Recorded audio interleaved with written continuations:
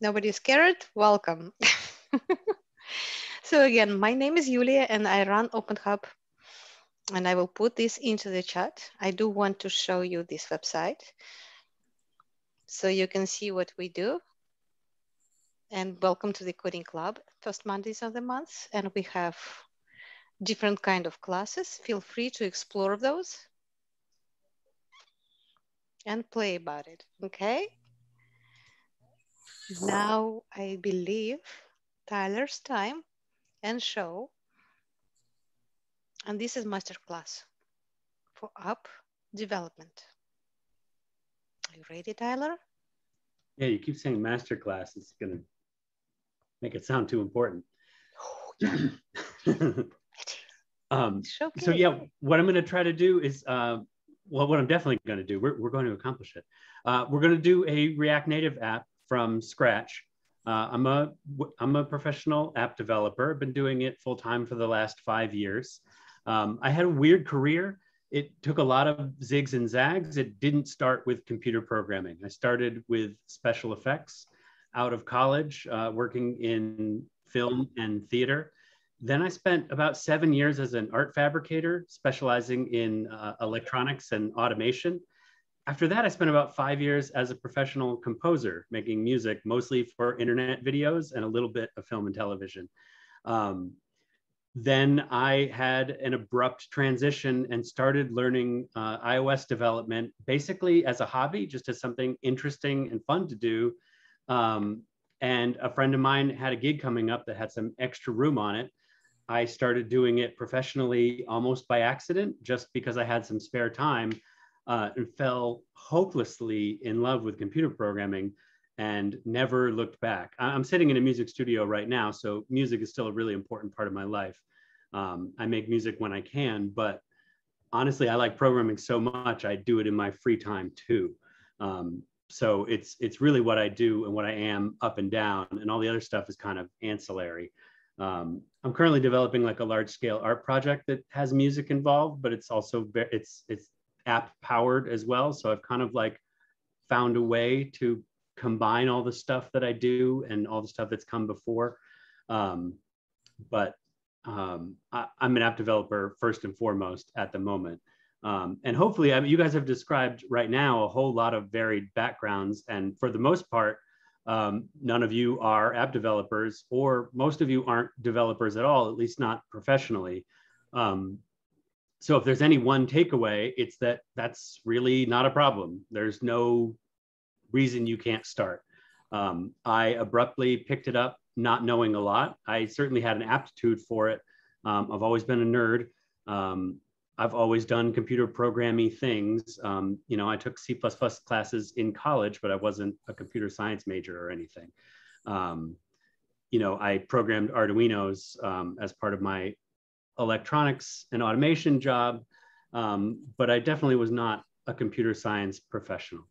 Um, so you can pick it up, learn what you need to learn, learn on the job, um, and become a professional, even if you didn't, uh, you weren't a CS major in college, um, or you don't have any what people would consider traditional qualifications. Um, there are some important qualifications to being a developer though, um, even if it's not like school or um, you know what you would consider like uh, traditionally educational. And actually, a friend of mine he sent it to me this morning. He was going on um, uh, going on a business trip to do interviews, and he sent me this thing to read. He's like, "I wrote this thing about what it takes to be a good uh, developer. Will you read it for me?" Um, and he basically just put up a bulleted list about what it takes to be a good developer, and it was perfect. So uh, I'm going to share that link with you guys. I'll, I don't want to put it now because you'll be reading it while I'm talking. Um, but I've got that link to share with you. Um, and it, you can basically just look at it. It's kind of like a, you know, is this me checklist? Um, and you might know just by looking at it, uh, does this does this describe is am I this type of person? Um, it, it, could be really helpful if you're kind of on the fence. It, it, has a lot of good questions to be asking yourself. You know, are you are you this type of self motivated person? Uh, do you learn things on your own quickly? You know, that type of thing. Um, so yeah, I don't have a lot more to say really about my personal background. I think is more interesting, at least from my perspective, to jump into the coding demonstration um, and show you how the app actually works. And then after that, uh, field questions from you guys, because I'm sure answering your specific questions is going to be more useful than trying to guess what they might be and answer them ahead of time. Um, and a lot of you guys uh, weren't talking about app development specifically, um, but I'm an app developer, so I'm gonna have a hard time talking about things outside of that field. And I can't demonstrate things outside of that field either. So without further ado, I'm gonna get to it and do a lot of live coding for you. Uh, some of you will probably zone out through most of this uh, if you're not familiar with coding at all, but hopefully uh, it's going to show you what it looks like to build an app and of course specifically what React Native looks like so if you've never cracked open a code editor or you've never built an app or you've never built a website, eh, working in React is very similar to React Native. Um, this should help hopefully uh, demystify the process for you. Um, and when this is over, I'll share a GitHub link. You can download this project that we're building. And it also has a README with the links you'll need to set up your own de development environment and get started. Tyler, do you want to questions asked right away or you want to hold them until we can type it, right? You think um, questions? Yeah, you know, if, if, there's a question or two right away, that'd be okay. Um, mm -hmm. Yeah, sure. Let's we can do a couple questions up top. Okay.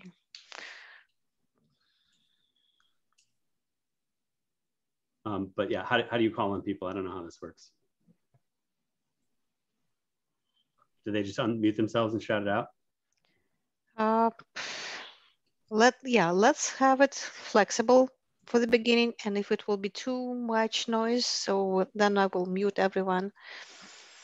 And then we will just accept questions by chat only. Okay. Okay. Well, if anyone has a question, unmute and shout it out. And if that gets annoying, we'll do it another way. All right. Otherwise, just raise your hand and I will be watching it. Okay. Hey, Actually, I have a question. Mario speaking here. Fire. Yes, Mario. Hey, see here. Are, are you guys able to hear me? Yeah, go ahead, man. Great. Hey, I had a question. Um, so I know that you said this would be kind of aimed towards app building, but I wanted to know, um, could this possibly maybe later in the Zoom call or on later Zoom calls uh, discuss app optimizing or optimizing your app? as far as downloads, maybe incre- increasing revenue? Do you know if that'll be an option? Uh, well, that would certainly be a different topic. Um, and to be totally honest, one that I don't have a lot of experience in. Um, okay. Like even even in my career to this point, um, I'm very much a make it work type contractor. Um, I get hired and am told what the app needs to do and I build the app and it does that. Um, I don't make my own apps and try to get them out there and make them successful. Um, that's kind of like an entirely different thing. I mean, in general, like, so this is actually a good thing to differentiate. And I get this a lot when people learn that I'm an app developer. They say, oh, cool, I have an idea for an app, you know, and then they tell me their app idea. Um, but there's actually a pretty big difference between an app and a business idea in which an app is a component. Um, because what you're really talking about is how to make a successful business where an app is involved and uh, the strategies for that and you know how to get more downloads for your app or how to market your app uh, you know that sort of thing is totally different than how do you build an app that works um, and basically they're they're completely separate universes. Um. Okay. No, I understand, and I definitely appreciate you being uh, you know transparent about that. Um, because I definitely understand that there's, like you said, two different sides to it. Um, so appreciate that. Um, but I'm, you know, still interested in learning more, so I'm definitely going to stay here. Yeah, yeah, no worries. Anybody else? Are we good? Go ahead, Tyler. All right. I have a question. Excuse me. Oh yeah, go ahead, man. Excuse me. Hello. Yes. Let's hear from the middle oh. of the oh. night. Uh, okay, uh, I'm asking you as uh, as you are handling this app development. Eh? Does it mean that you are going to start from the crash, as in as from the beginning, the guidelines and uh, the requirement tools we need to have for this uh, course? Yeah, I um I set up a README in the repo that I'll share with you guys uh, that has the prerequisites for setting up your environment. Um, so you'll be able to follow through that and set up your own environment if you try to duplicate the project. Um, I'm not going to start the demonstration with those prerequisites because setting up your environment um, could take a couple hours. It's generally, uh, it's specific to each computer, whether you're on Windows or on a PC um, and depending on what version you're on, and you could run into all sorts of weird little problems. Um, so we wouldn't want to do that in real time, um, but you should be able to follow the instructions afterward and get your own thing set up.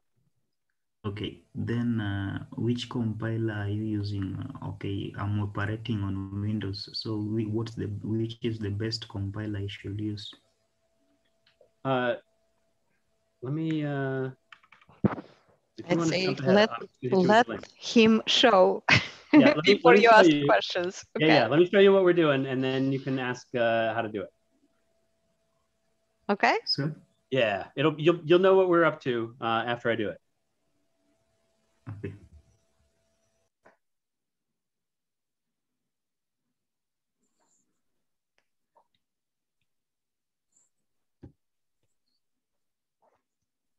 All right, let's see. So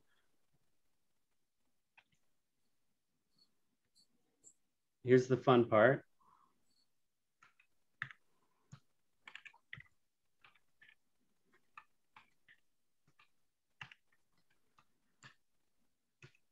So React Native init is how you start a new React Native app when you set up the React Native environment. Um, the React Native CLI gives you access to that React Native init command. So it'll make a new project in your new folder we're going to make an app that points to the Rick and Morty GraphQL API, which is an open source GraphQL API for learning about GraphQL and learning about Rick and Morty, if that's something you care about. Uh, let's see, we're gonna CD into the new app. So this is our new app. It is completely functional. So we're gonna run it. Uh, this takes a moment to compile and a warning for when you're setting up your own environment for the first time. Uh, let's see, simulator just popped up. Let's bring it over here. Um, this should just work, but a lot of times it doesn't. Um, there are so many things that can go wrong at this step and setting up your React Native environment for the first time is a common stumbling block and it can be especially frustrating for beginners. Um, there's not a lot of advice I can give you specifically because it's so different on so many different machines, depending on what version of Node you're using or your operating system. Um, so this can kind of be a make or break moment. Sometimes uh, you might end up having to do some Googling and searching on Stack Overflow and finding out why, when you do this one step where it should just work, it doesn't just work. Um, so unfortunately, when it comes to React Native, the very first thing you try to do might not work.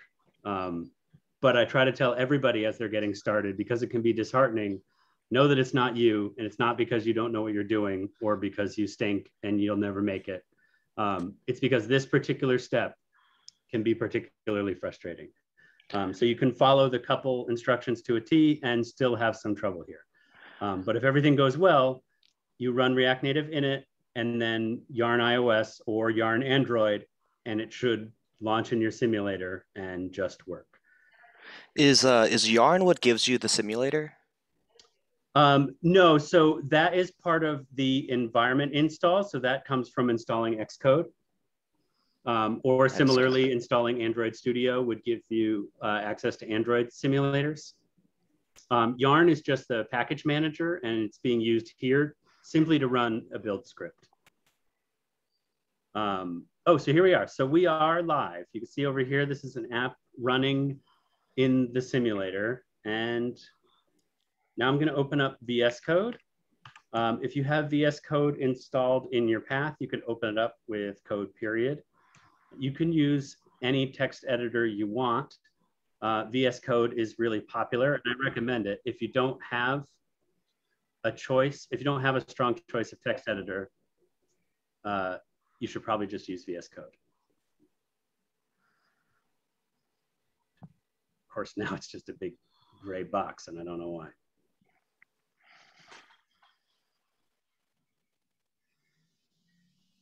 Not VS Code.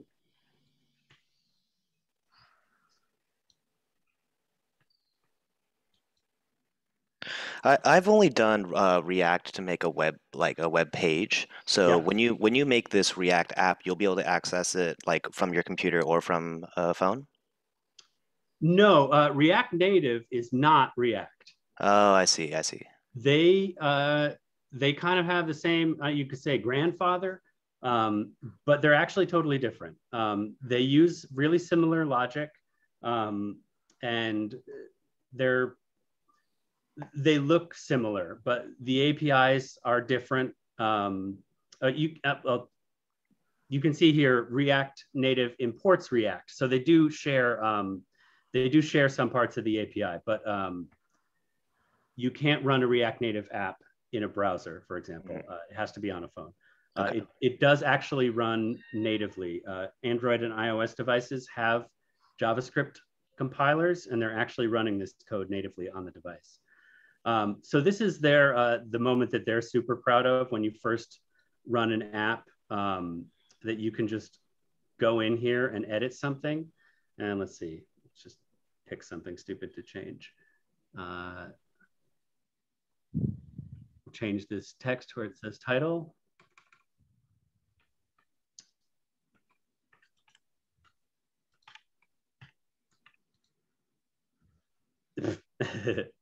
right not in curly braces.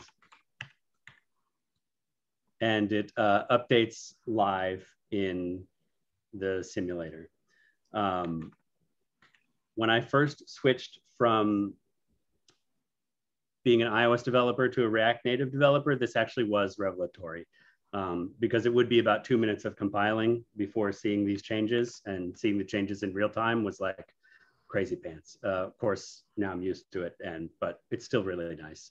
Um, so anyway, the changes I'm making in the code here are updating in real time, and that's pretty sweet. But that's the last we're going to see of the built-in app.js, because we don't need it. So first thing you generally do when you make a new project is give yourself a source folder, and then you build everything inside of there. So we're going to make our own app.js folder.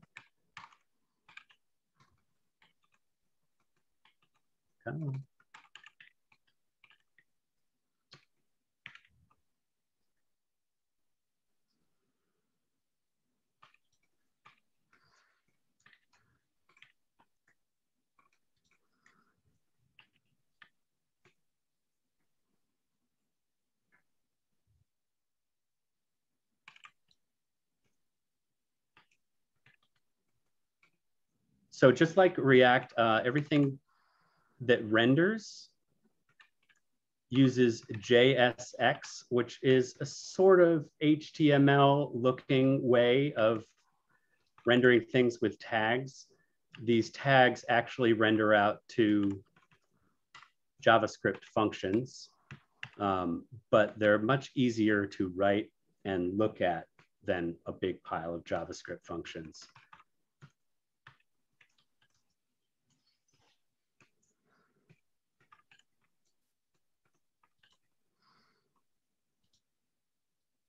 Now we just got to go tell our index that we moved our app. Figure out what we did wrong. Oh, right.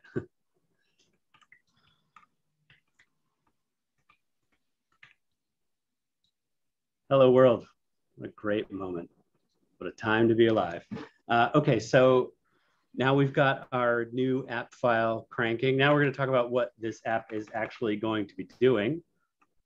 Uh, here is the Rick and Morty GraphQL API. Right now, there's no query here. So we're going to head over to the docs and explore how the schema actually works. I'd love to go super in depth with how GraphQL works and all that. Um, but I would bore everybody to death even further. So I think I'm going to go copy pasta on this one.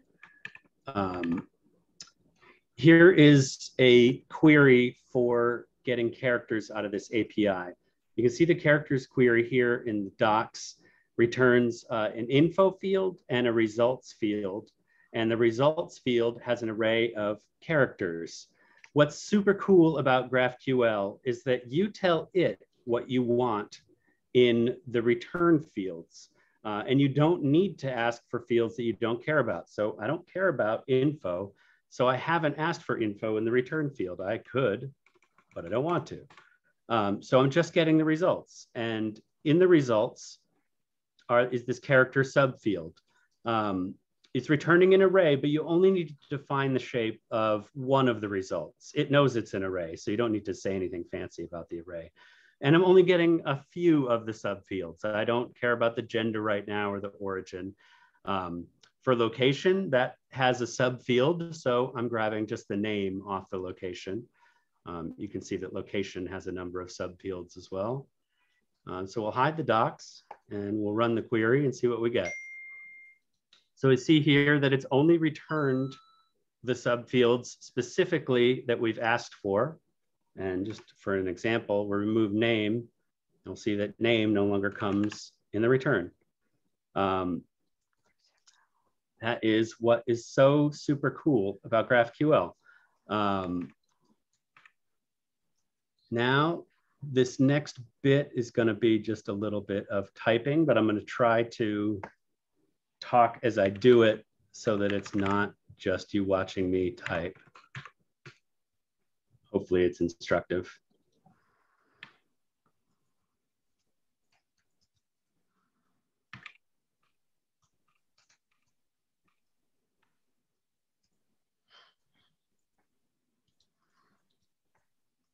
So we're going to make a new file called characters.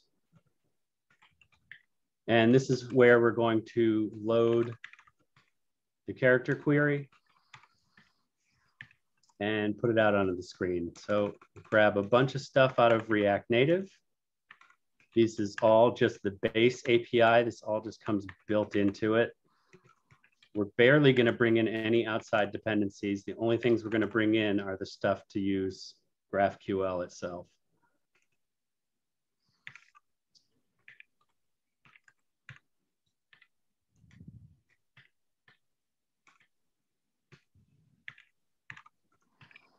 So before we wire up uh, GraphQL, just gonna make a little bit of fake data to mess with because we wanna make sure that it's working first. But I want the fake data to have the shape of the real data. So I'm just gonna copy paste out of here. And this is JSON. So I'm just gonna change these names so that it is a real JavaScript object and not JSON.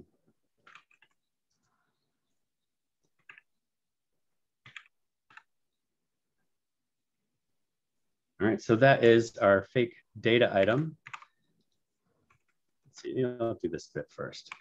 Um, so here's what we're going to return. We want a safe area view. This is a special class that when you look at the simulator here, it's got this notch up at the top and it's got this stupid notch down at the bottom. The safe area view knows to put things below the notch and above the notch without any sort of other messing around. On Android, it doesn't actually do anything. Um, it just leaves it alone. Um, so it's safe to use on both. It just ignores it. Uh, so here we're going to be rendering a flat list inside of a safe area view. And that flat list needs to know what it's rendering. So we're going to build it a item object to render. These are the data fields. We're going to destructure out of the data array.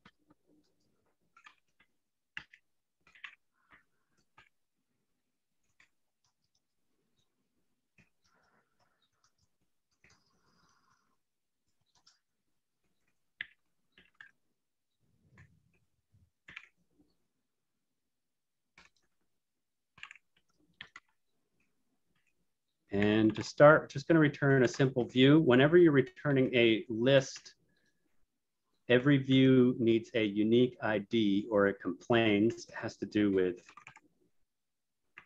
how things get rendered and stored in memory.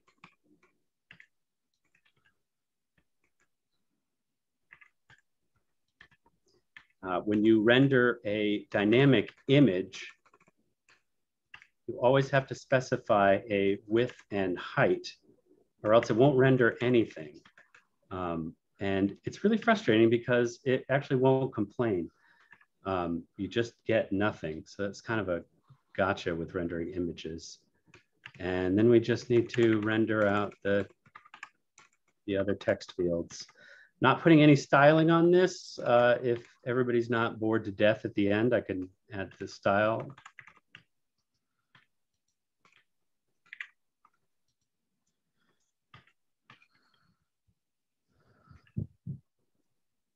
All right, still not rendering anything because we haven't actually wired this class up to app yet.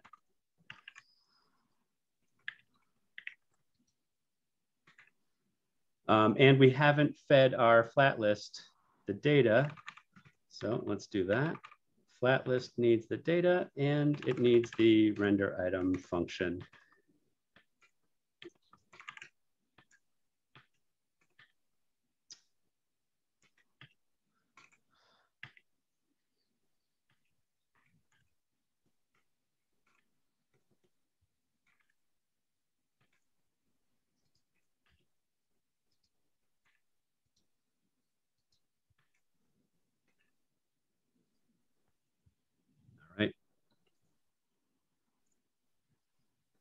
So we pop it back over app.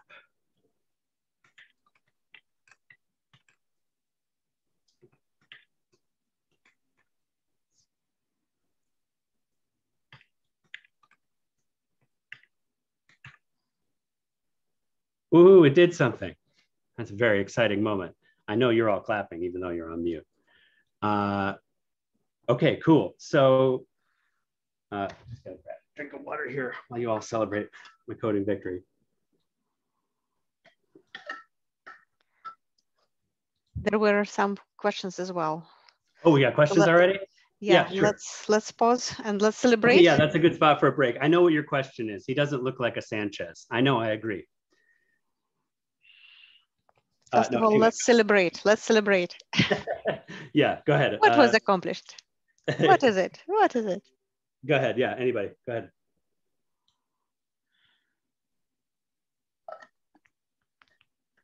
I didn't quite understand when you said dynamic image. What does he mean by that? Aren't all images by nature static and have a static dimension? Like, oh yeah, uh, that's a, that's interesting. Um, so you can embed an image uh, into your binary.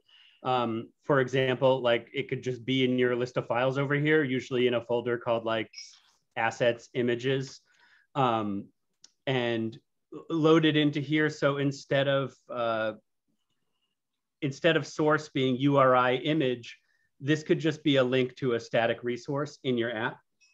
And in that case, you would not need to specify a width and a height because your app would know its intrinsic width and height because it is a part of your binary. Um, so if this image had a width and height of say 400 by 300 and you loaded it up into your app, it would by default be a 400 by 300 image. Uh, you could then specify a different width and height and it would render at the width and height you specified. But in this instance, um, because I'm pulling the image from this URL, uh, it has no idea what the image's width and height is until it actually gets it. So in the meantime, it doesn't know how much space to leave it until it gets it. So it ends up, there's this, uh, you know, snake eating its tail problem. Um, and so instead of figuring out that problem, it just says, you know what, I'm not going to do anything. I'm just going to forget about it. Uh, if you don't specify a width and a height. So essentially what you're doing is you're indicating a dimension as a placeholder then until it gets the actual image. Like no, no, in fact, in fact, you're you're specifying the width and a height that, that it's going to be no matter what. Um, okay. And if you don't specify it, it won't render. Uh, there are packages that deal with this problem um, that you can import. Uh, there's a lot of ways to skin this cat. Um, but if you're using the the base API image class, this is the way that you've got to do it. Um, and a, a, lot of times, if you're building your own API, you would bake the width and height into your image metadata so that you could ask for it before you pull the image in and specify it ahead of time. Um, but you know, basically, it, it's it's something you have to account for. Okay, thank you. Yeah, no problem.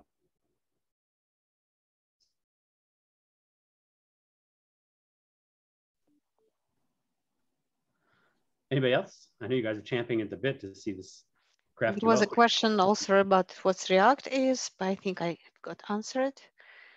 Uh, there was also from Jan saying the extension, specific extension found useful. What's that question? Specific extension from GitHub, but it's shared on the chat. So if you find oh, oh something oh, I, useful to recommend, to recommend, sure. Go ahead and recommend it. Uh, I'm sorry. Uh, I uh, I just basically recommended a, an extension that I sometimes use, which converts uh, JavaScript object to JSON and vice versa very quickly. Like you just like simply highlight it and it will convert it to convert the format. That's all. Like I, I noticed you were doing that earlier, so. Oh, oh yeah, yeah, but yeah. If I wasn't um, creating this demo object for this purpose, I probably wouldn't be doing that anyway. But yeah, yeah. I mean, I, I, I use it to sometimes help me, like when I get some data from the API, and then I just I want to mock the data, go offline, I can just you know use mm. that. Yeah. Oh, that's handy to have around. Yeah, I haven't used that before. Um, yeah, mocking data is really important.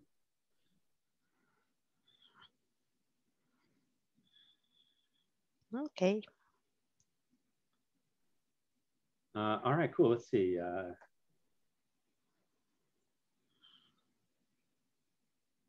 all right, so we're ready to add the um, we're ready to add the GraphQL API. So here is where we're going to bring in our only dependencies for this little project. So we're going to do yarn add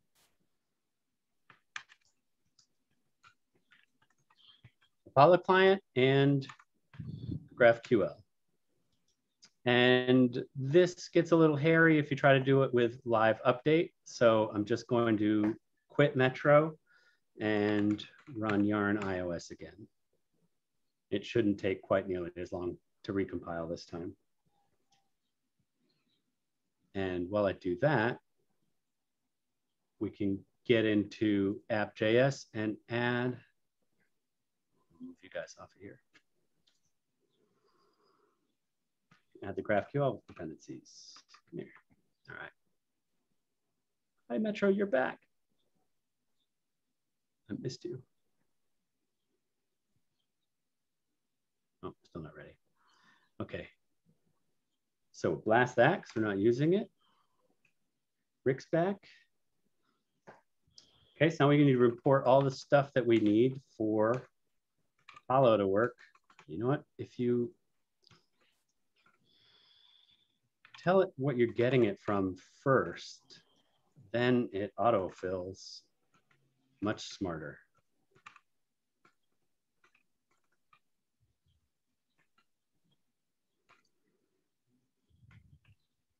Spider.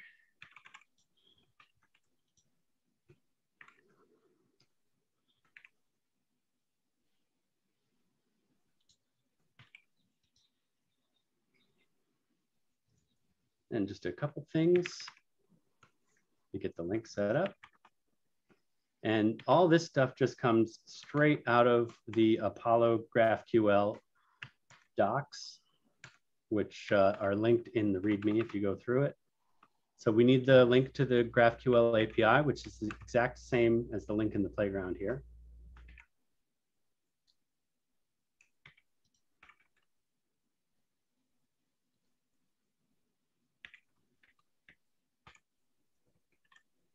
Cache. It's just the default cache, how it saves what it's downloaded. And then this sets up the client.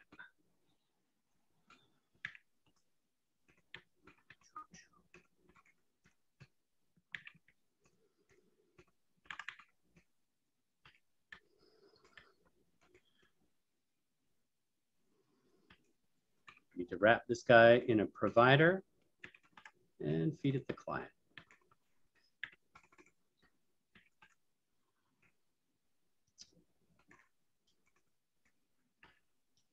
You'll see this pattern a lot in React and React Native where you have to wrap a whole bunch of stuff in these providers so that other components farther down the tree can serve as consumers, which usually take the form of uh, hooks that you use to grab data outside of, or rather inside of them, further down in the app. So you don't need to drill down or pass props all the way down. Um, you can just use hooks, and I'll show you how that looks once we get inside of it. Um, see, we're almost to the more fun bits. Well, fun for me. You've got to be a nerd if you think this is fun. Okay. So use query is what we use to uh, pull that query down and I'm going to write the query right in here. Usually, if you're using a GraphQL API, you'll have all these queries written up in separate files and import them. But since we're only using one, I'm just gonna have it here. Uh, and what's cool about this library and this playground is that the GraphQL is the same everywhere. So this is a GraphQL query that works here in the playground. It's the exact same query that works here with the Apollo API. So this GraphQL tag that's surrounded here by these grave accents um, encompasses this bit of GraphQL, which is identical. I just copied and pasted it. And what works there is going to work here. So if you've got it working in the playground, you know that it's going to work here. It's really cool. Um, it makes figuring out the problems um, so much faster, especially when you're working uh, with an API that you have no control over, um, like a backend that's just kind of handed to you.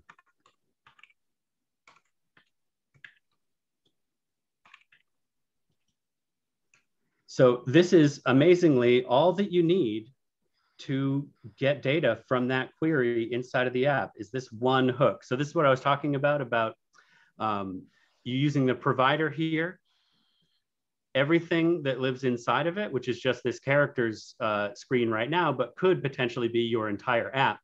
Um, anywhere you use this use query now has access to the Apollo provider. Um, we'll put a line here so that we can see what's actually there. See if there's data or an error. I've also called this data. So I'm gonna comment that out. And that data is not correctly formatted for the flat list. So I'm gonna comment that out just for the moment.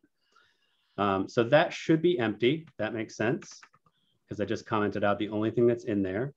Uh, and we're gonna go over here and look at the debugger, which I haven't shown you yet. Um, this should be pretty familiar to anybody who's done web development. This is the console debugger. Normally you'd be looking at your website over here and you'd be looking at your console output over here. Uh, what's different here is that there's no website. So the stuff over here is just some blah, blah, blah. It's a React Native website. It's not really a website. So this is garbage, doesn't actually mean anything, but the console works the same way. Um, so this is console output from the React Native uh, app running in real time. Um, it's console up here. You can also view source.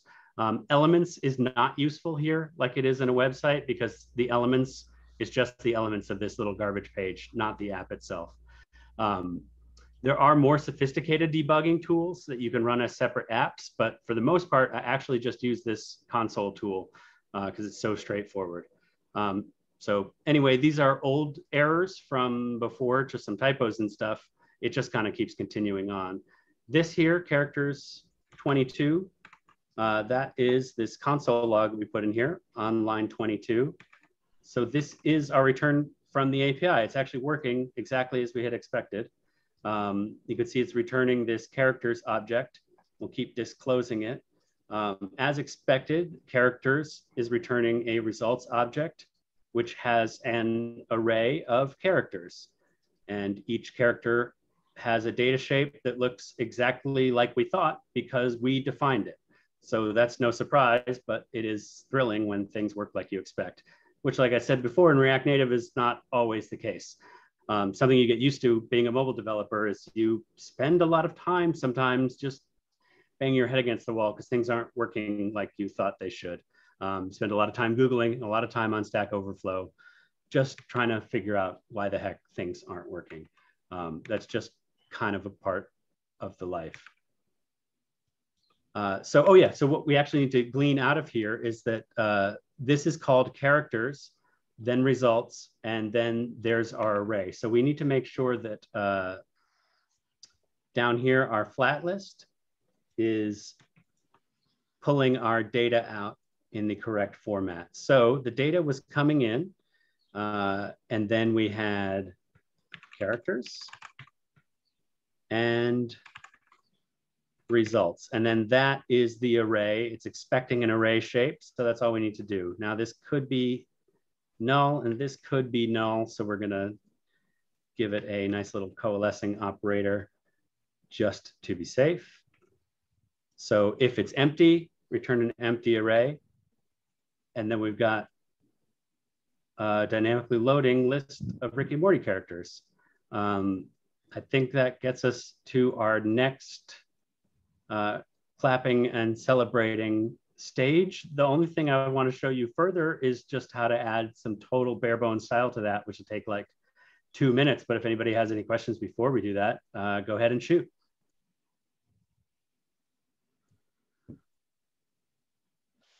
This was like magic, right? Hopefully not super boring magic. the result is exciting. And I'm wondering what the questions you might have because it's like really touching. And nothing totally so broke. Many. I mean, doing a live coding demonstration in React Native, like the chance of mm-hmm. something just not working at all was pretty high. Mm -hmm. I was going to have a whole disclaimer before, but I thought, nah, give it a chance. It might just work. And it did. Yeah, it did. you got lucky. Great. Yep. Tyler did a lot of iOS development initially. And then why did you switch to React Native? Um, well, really, it was uh, one client. We were building their iOS app, and um, I can stop sharing for a minute. Uh, we were building their iOS app, and they wanted to also build an Android app. And I I built some Android apps before, but I really didn't want to build their app in native Android. It would have been too much work. And we tried for like three months to find an Android developer and just struck out. Um, so we thought about rebuilding in React Native. And once we started looking at it, it started to make sense. Um, and I decided to actually take a reduced rate. I said, I'll work at half rate because I don't know what I'm doing. Um, and I'll learn React Native and make it from scratch. I mean, I built the whole iOS app, so I know what it's supposed to do. How bad could it be? Um, and so in six months, I rewrote the entire app from scratch in React Native. And after that, I totally drank the Kool Aid. I think React Native is fantastic. Um, do, do you think React Native is going to stick around for a while? Honestly, it doesn't matter. It really doesn't matter um, because mobile moves really fast. And so far, the most marketable skill I've had as a mobile developer is ability to learn new frameworks quickly. Mm. Um, so if React Native disappears in a week and I'm a Flutter developer by August, like that's fine. Um, it, it, it won't it won't be an issue. Um, so like if it sticks around, it'll be great because I know React Native inside and out at this point.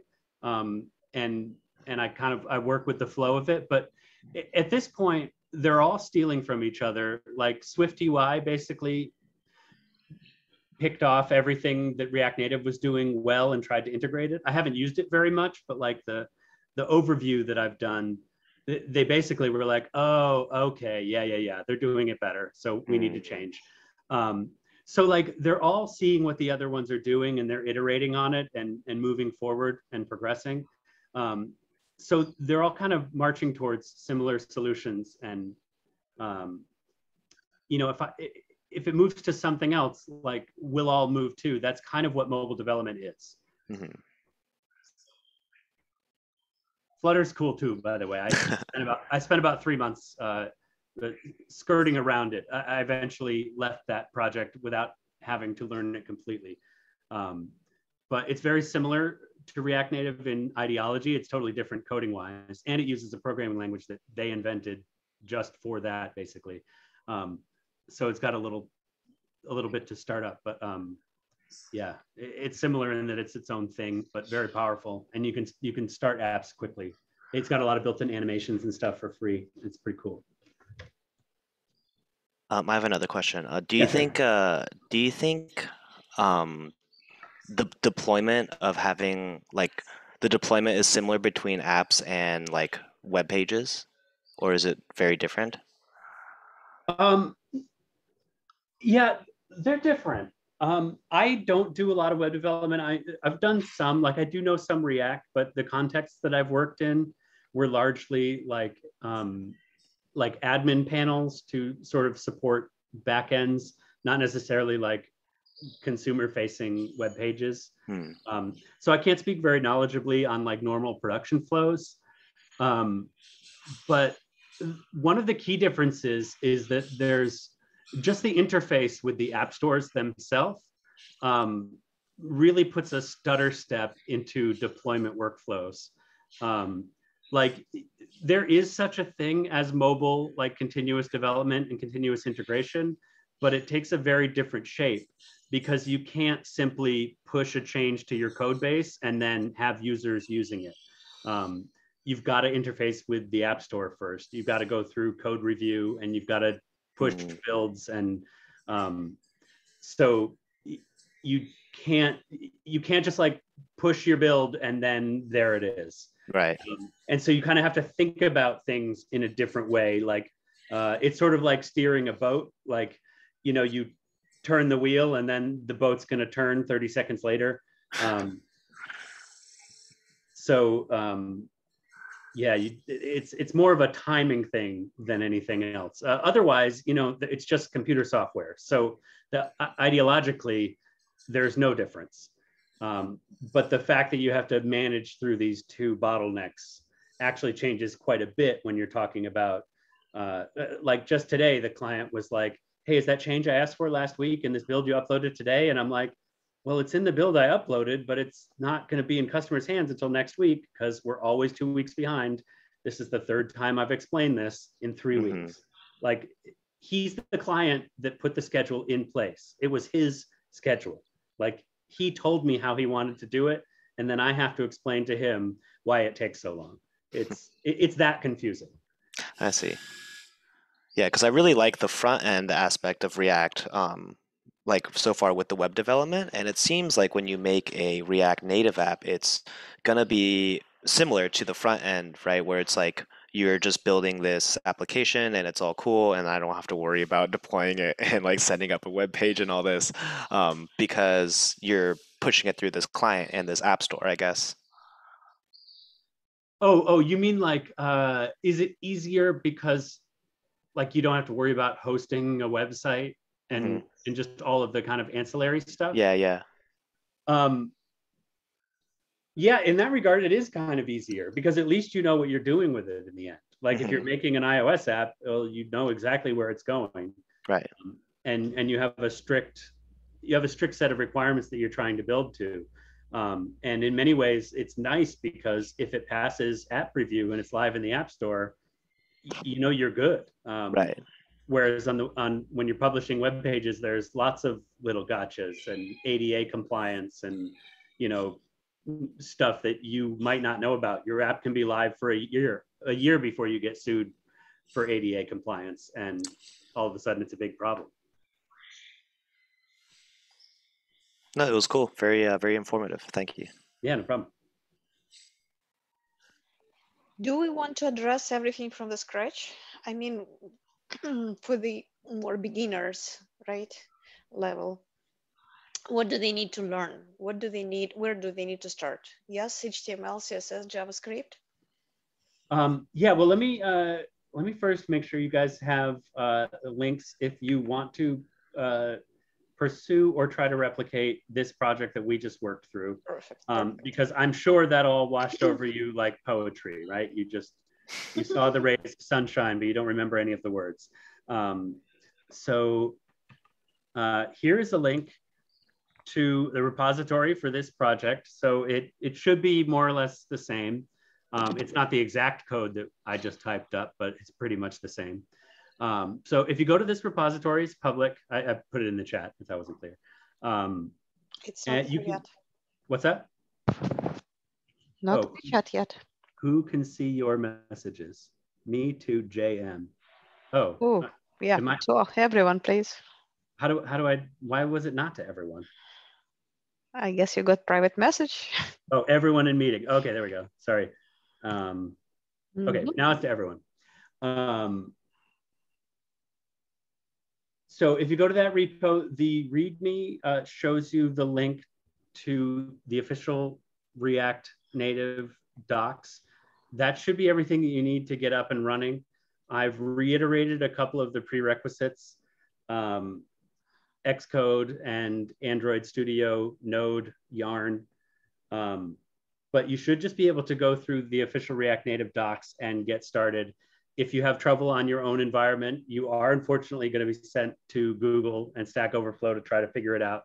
Um, I can say just empirically from the people I've helped so far, it's a little more annoying on Windows.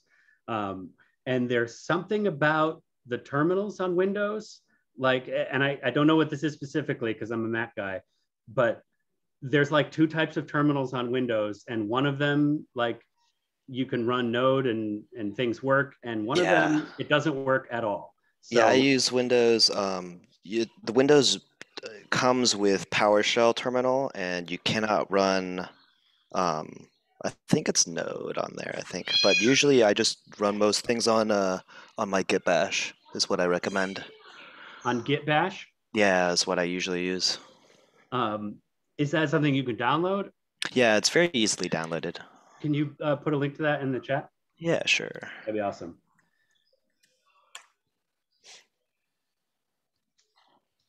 Um, oh yeah, here's a, a, link to my friend's article that he wrote up, What Makes a Great Developer.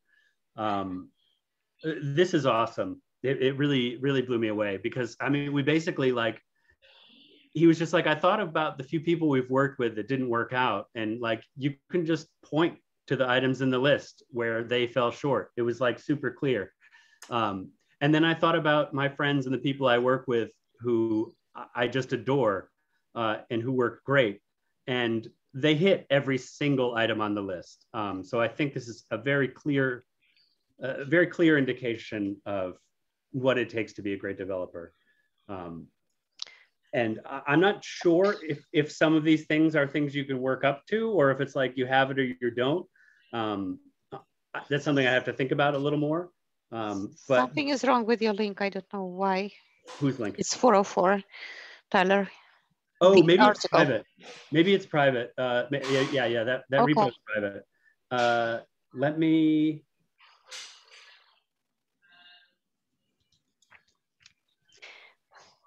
Anyway, we will find the way to share the text the article. Yeah, no, you know what? I'm just going to add it to the wiki on my um, mm-hmm.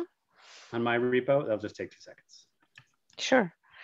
And if you if it's your friend, we can ask the permission and publish it as a blog post on Open Hub. As a guest blog post.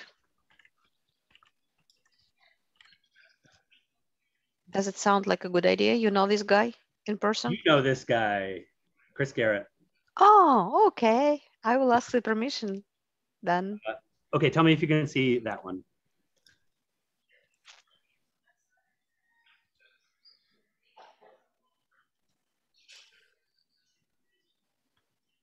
Yep. Okay, great. Perfect, perfect. And I will ask Chris uh, about permission to publish it on OpenHub blog posts. Okay, yeah, yeah, definitely ask him. I'm sure it will be fine, but worth asking. Mm -hmm. Yeah, it's worth to to share this information. Uh, and He's number have... one, by the way, iOS developer. Yeah, he's number he's one. Best. He's my Yoda. um, this is a, a, link to a Udemy course. This is actually how I got started in React Native. Um, it should be $12. Every once in a while, you see the fake Udemy $120 price. Do not pay $120 for it. Um, but it's definitely worth $12. Um, yeah, this course is excellent. If, if you're thinking about actually getting started with React Native, I recommend this 100%. Do you use Udemy a lot to learn your new languages? Um, this is the first one that I've done sort of like full stop. Um, I also did the same guy, Stephen Grider. I did his React course. I did about half of it. Mm-hmm. Um, but uh, it, it's not like I use Udemy as a rule, but I definitely use this type of video tutorial and stuff. Um, I think it's great. You know, I set the speed to 1.75x and just burn through it. Smart this guy talks kind of slow, um, but he's what's particularly great about Stephen Grider is that he assumes you know nothing. So he takes everything from a total beginner perspective, but he doesn't say anything in such a way that it feels like you're stupid or that you're like bored while he's talking to you. He's, his balance is just right. Uh, he's really, really good. I found Udemy, Udemy very useful because there is a very competitive marketplace with all courses. But when you start doing yourself, uh, finding the right course yourself, you might be lost. That's why it's worth to have the reference from Tyler. yeah. Much. Yeah, it helps to know like this is a good one and it's what you actually want because there is some useless stuff.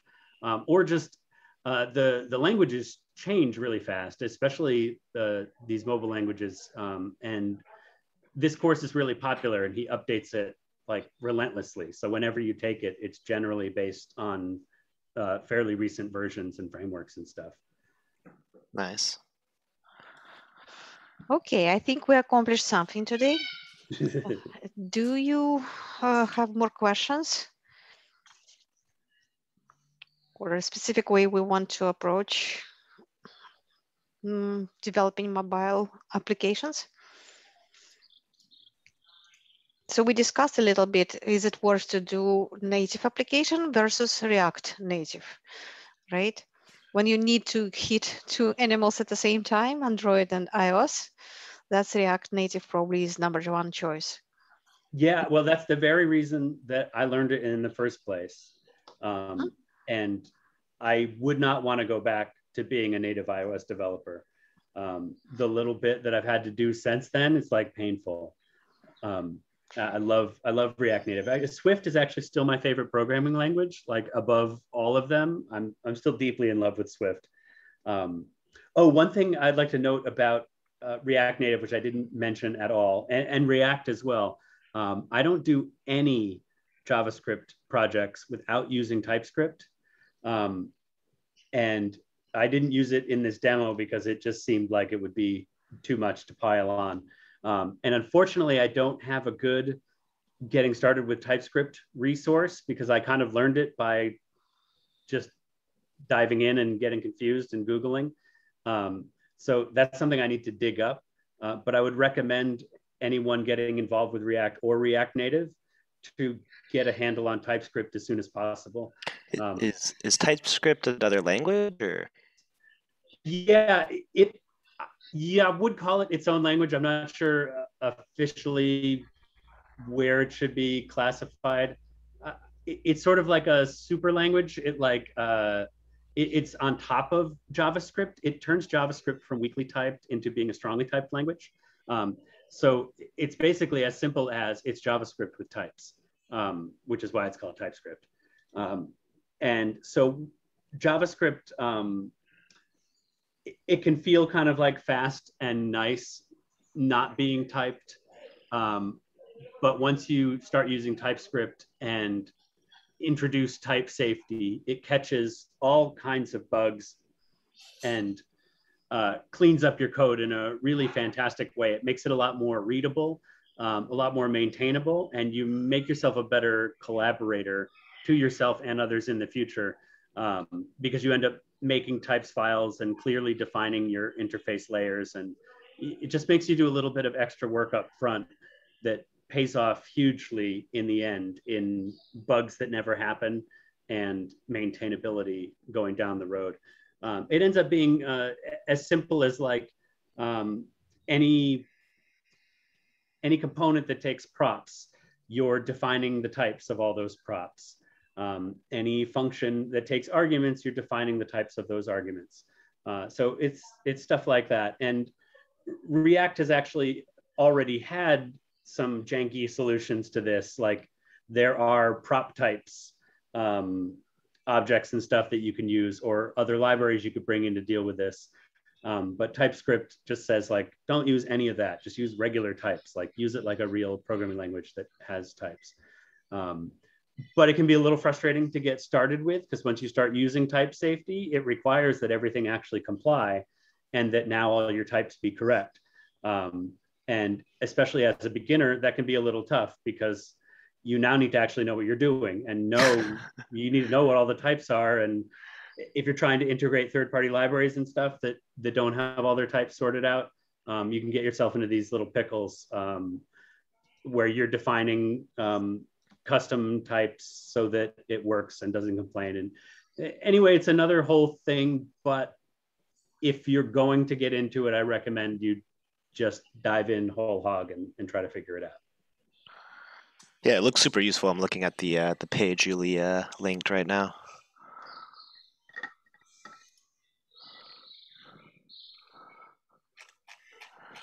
Cool. Andrew, remind me your background. Where are you? Oh, uh, I'm doing the uh, I'm doing the uh, Thinkful Coding Bootcamp right now, um, and I'm in Puerto Rico. what is yeah, what is your yeah. boot camp for? What are you trying to boot? It's into? for uh, it's for web development, but um, I didn't really I have no coding background experience at all. Um, so I just signed up for a cool, cheap boot camp that can like hopefully refer me to a job afterwards. Mm. Um, and it's it's a great course. I've been learning a lot. Um, it's similar to the Odin project if anyone's heard of that, except for this is like I guess the paid version or something. But uh, um, but yeah, I think mobile app development is um, a great field to try to get into. I think it's going to be big, and so I mean it's already giant. So which one am I using? I'm sorry. Which one of what am I using? Bootcamp, I yes. Oh, Thinkful. Okay. Yeah, I recommend mobile development. We're always looking for developers to help out. Like there, there aren't quite enough, it seems. So um, there seems to be more of a demand for mobile developers than web developers. Although at, at the moment, there seems to be demand for developers across the board. Mm-hmm. Uh, so it's a great time to be learning new skills. Um, and the more versatile you can be, the more chance you'll get work. Uh, so I wouldn't, I wouldn't necessarily even draw a line in the sand and say I only do web or only do mobile. Like, eh, grab as much as you can. Right. Uh, get get the first job that you can that you can tolerate, and learn as much as you can. Um, but there's no reason you can't continually kind of change and pivot. Mm-hmm. Um, it's it's one of the skills that makes a good developer is being able to constantly adapt. And even if you know, like I was saying, even if you pick mobile development, you're going to be forced to continually change and evolve anyway, um, just because that's the nature of the the tools that we use. Um, so yeah, don't don't be afraid of taking on all kinds of different things that's going to serve you uh, when it's appropriate time to start mobile development do you need some background of basic basic basic like bootcamp basic with html css and javascript before you switch to mobile um, well you don't need any css um, i mean i guess uh, react native like borrows its style conventions from css mm -hmm. but mm -hmm. i didn't know what css was when i started developing for React Native. Um, in many ways, I was at a bit of a weird disadvantage learning React Native because I knew nothing about web development. Um, I, like I learned what a div tag was like three months ago, um, like no joke. Um, so, and a lot of the React Native literature is like assumes that you're a web developer who's now learning React Native. Um, so in like tutorials and stuff will be like, so you know CSS and blah blah blah blah blah. Anyway, here's the hard stuff. But I didn't know any of that stuff, so I had to play a lot of catch up. Um, specifically just for those tutorials that assumed I knew that vocabulary. Mm-hmm. Um, so I wouldn't say that that those things are a prerequisite. Um, I think you can jump right in and know nothing and start trying to learn React Native and developing mobile apps because it has it has its own vocabulary um, and its own logic. And if you're going to be a mobile developer anyway, you might as well be an expert in that. There's plenty of web developers. Have you made any uh, apps that we might know of? Um, probably not any apps that you're using. No. Um, you know, the nature of contract business. Also, you you end up working for a lot of startups that don't end up being anything. Mm-hmm. Um, and actually, it's exciting because one of the apps that I'm working on just shipped a couple weeks ago, and you know, I was remarking with my partner, it's like, wow, we haven't shipped in like I don't know, 18, 20 months. Like you know the last couple of projects we were on it's like you work on it for six months and then they sell the company and then the app never launches and then you move on mm-hmm. um, but uh, yeah the app the app that just launched is called stairs it's like a savings account app where you can you know put in some money and earn some interest um, it's as like plain jane as an app can get but um, yeah cool. That's that's the thing i'm working on at the moment. And there was a question about jobs and hiring like junior developers and all this stuff. This is a big actually difference. As soon as you see big corporation or organization working on mobile development uh, then they are not accepting junior developers with no experience or with little experience. This is the difference with like freelance life tyler mm. is at or in yeah I, I mean how to get jobs is something I, I don't know a lot about um, because it, the best advice I can give in that regard is to find somebody who's making apps and work for them for cheap because that's what I did. Um, and, and this way worked. you can get the mentor and you don't need any experience. Yeah, yeah, exactly. Um, because the most important thing when you're starting out is that you're eager to learn um, and that you have an aptitude for it. Um, so, you know, if you're going the bootcamp route or you've done tutorials and you're learning to make your own apps and you can show like, I know a little bit and I'm ready to learn a lot more. Um, and, you know, you're willing to work for a reduced rate to start, that's a great way to get started. Um, so yeah, that was exactly the path that I took. Um, most of the people that I work with now, that's what we do. Um, we start, if they have little experience, we start cheap. And if they're great, we raise their rates quickly. Um, so who you would accept then? What do you mean? As your intern, as your like assistant learning. Yeah. How did you meet you, the person who mentored you? Uh, yeah, he was a friend of mine actually because I was working uh, as a composer at the time. I was doing the music for his video game. Ah, cool. Yeah, and uh, I wanted to make my own video game, and I was like, "Will you show me how to do it?" And he, you know, started putting me on tutorials, and then uh, we were off to the races. So it was good luck. But what about now? How do people mm, find you and start working for you nowadays? Yeah, well, I'm me. Um, so I'm one person that you know that makes apps. Um, you can. You're welcome to email me.